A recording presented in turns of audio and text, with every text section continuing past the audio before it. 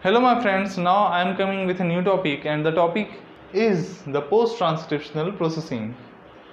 As we know that the viral genome getting transcribed into the nucleus, especially in case of the DNA viruses.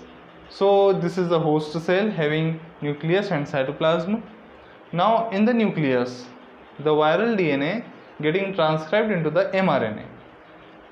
And this mRNA before going out from nucleus to the cytoplasm having some modificational changes. These modificational changes required for the establishment of mRNA for uh, the attachment of the 40S ribosome and for the triggering of translation and for the preparation of protein.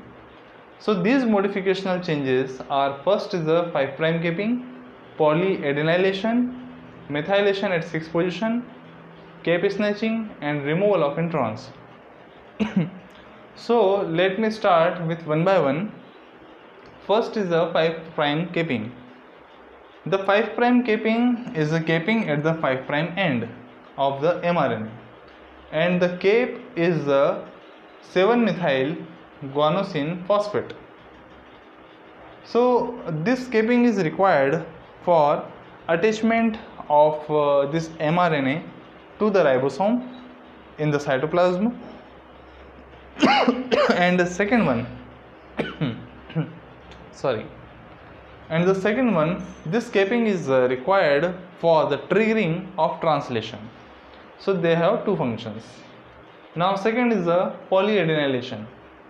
Polyadenylation is the attachment of the adenylate residue at 3 prime end so about 50 to 200 adenyl residues get uh, get connected to each other and making a long tail.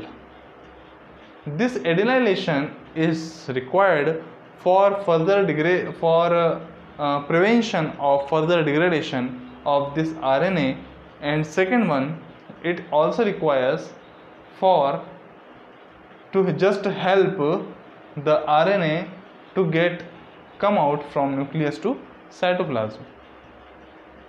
Now let me go to third one that is the methylation at sixth position. The methylation of this adenylate residue at sixth position is to be done. And uh, this methylation is just only 1% of this all 50 to 200 adenylate residue. So only 1% of this 50 to 200 adenylate residues get get methylated with uh, at, at the sixth position. Next one is the cap snatching cap snatching is basically a special phenomenon and it is seen in case of the influenza virus.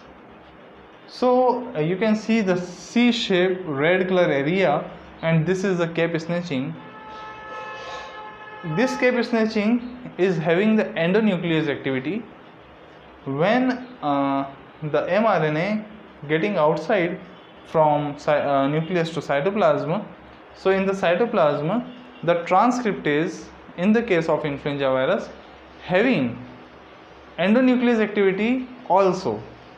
So this transcriptase acts on this cape and uh, the cape getting triggered for the translation. This cap snatching acts as a promoter in case of the influenza virus and uh, it is required for the translation in case of the influenza virus. Now next one is the removal of introns. The DNA when getting transcribed into the RNA so the introns in the genome is to be removed during transcription because these introns as shown in the blue lines here these introns are not transcribed. So during transcription the introns are spliced out and uh, the at the splicing site there is no the splicing site is to be seen here in the red mark in the uh, mRNA. The introns is getting removed in the mRNA. And uh, the removal of introns is very important as showing in this figure. Suppose there is one mRNA getting translated into the proteins so only one genome of uh, mRNA having A, B and C sites or the gene uh, uh, gene code. So it can be further uh, modified into different type of the proteins and uh, uh, can be translate different type of proteins like ACB, ABC, CAB. So only a single gene uh, product can uh, differentiate different type of or produce different type of the proteins. So the removal of introns is very essential, very crucial and very important. So guys, uh, maybe this lecture is very useful for you all. And uh, if you like uh, my videos please subscribe my youtube channel and please share this youtube uh, this uh, video to your friends. Thanks